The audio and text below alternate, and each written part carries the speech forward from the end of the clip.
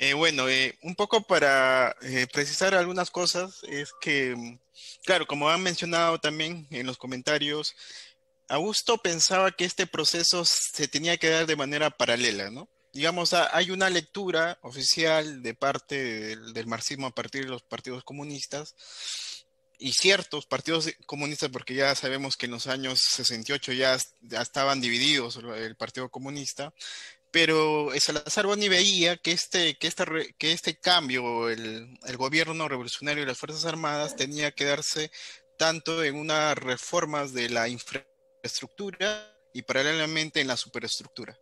Por ello, eh, su dedicación en participar en, en, la reforma educativa para que justamente, como ya habíamos eh, indicado y Jorge también ha hablado de ese tema de la colonialidad, porque no vale o sea, no, no tan solo es tan importante tomar el poder, sino que también cambiar esa mentalidad que tenemos en el, eh, o por decirlo en este chip, ¿no? Que es el, nuestro cerebro, en la que estamos dominados culturalmente. Y por ello era muy importante que esta reforma educativa tenía también que estar analizando el tema de los valores. Por eso el tópico de la axiología. Salazar Bondi dice que debe haber un cambio de valores en la sociedad peruana, porque como que tenemos ya adoptado eh, en, nuestro, en nuestro cerebro la idea de que, por ejemplo, eh, somos una cultura subdesarrollada del tercer mundo, y entonces tenemos que estar más bien eh, estar ligado a la cultura occidental. No, no, eso es lo que no pensaba, lo que pensaba Augusto era más bien criticar toda esa visión que tenemos que se menospreciaba la cultura originaria, por ejemplo, en el Perú. Y por ello Jorge también ha mencionado sobre el multiculturalismo.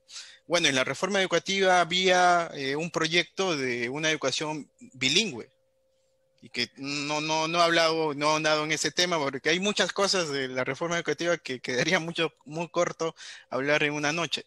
Pero también es muy importante señalar eso. Había una revalorización del quechua en aquella época.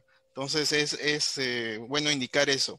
Claro, ¿y de qué, cómo podríamos nosotros ahora criticar esa educación eh, neoliberal que, que se ha privatizado, se está privatizando, como ha mencionado también uno de los compañeros, eh, la educación ahora del Estado, ¿no? La educación pública. Entonces yo creo que hay que retomar esa idea de Iván Illich de la desescolarización. Hay que pensar que ya también ya no hay que centralizar mucho la educación en, en, los centros educativos, sino que hay que ver que hay otros espacios para la formación del individuo. Uno de estos espacios, y como Jorge también ha mencionado, puede ser e, estos conversatorios que tenemos y que nunca estaban ahí y nunca la habíamos utilizado. Y eso eh, permitiría entonces poder llegar a ciertas personas interesadas en cualquier aspecto, ya sea social, cultural, político, filosófico. ¿no? Eso ya lo estaba pensando eh, Iván Illich, claro que Iván Illich era muy radical en su época de los años 60, eh, 70, ¿no? Él quería eliminar todos los centros educativos, más bien él decía, hay que ver y hay que formar el tema de los educanos a partir de sus capacidades y no tienen que ir a un centro educativo porque ahí están formados, homogenizados por un sílabo que los homogeniza de manera mental, sino que más bien hay que ver sus capacidades y hay que utilizar los medios. En aquella época ya Iván Illich sabía que había estas redes que ahora llamamos Internet para poder eh, reunirse entre las personas y a partir de eso desarrollar las capacidades de los niños. Eso estaba pensando Illich en los 60, 70.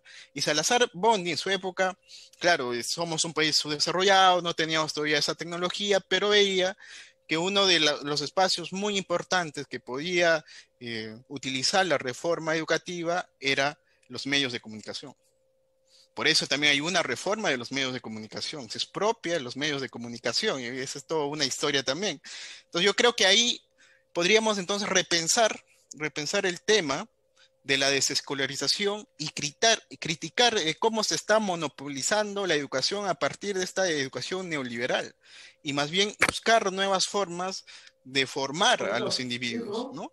Eh, ese es uno de los puntos muy importantes de, del proyecto de Augusto Salazar Boni en diálogo con Iván Illich. Eh, claro, entonces también se habló del trabajo. Hay que, hay que recordar que Augusto Salazar Boni eh, hace una lectura del joven Marx. Cuando el joven Marx está pensando en esa relación de la alienación del trabajo, lo que está pensando Salazar Bondi, que este proceso de las reformas, porque también hay un proceso también en diferentes eh, ámbitos, permitiría entonces una inserción del peruano a un proyecto integral a partir del trabajo. Por eso él pensaba que dentro de las universidades debería haber un, instituto de especialización de ciertos peruanos que con una gran capacidad puedan formar parte de un proyecto eh, integral para, para que puedan eh, gobernar. Entonces había una conexión entre lo que eran las decisiones políticas con las universidades, ¿no? Y no, y no lo tenemos ahora. Hay una desconexión total del Estado con las universidades.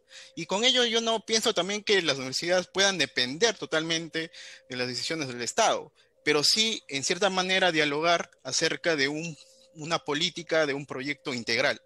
Y eso estaba plasmado en, en el proyecto de la reforma educativa en el tema de las universidades y cuestión que debemos repensar a partir de todo lo que se ha realizado en los 90 con la privatización también de las universidades o la creación de universidades privadas. Entonces yo creo que ahí Salazar Boni y este proyecto de la reforma educativa nos, puede permitir un cambio actualmente, ¿no? Eh, y para terminar, todo esto está relacionado a lo que Augusto Salazar Bondi pensaba en aquella época acerca de la democracia integral. En la democracia integral lo que plantea es que hay tres ámbitos para poder democratizar.